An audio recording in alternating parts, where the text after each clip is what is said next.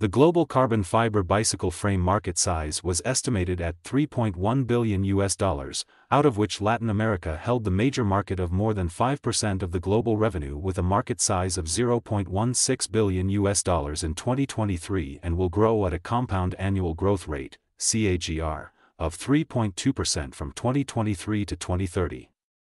To know more subscribe to its latest published market research copy.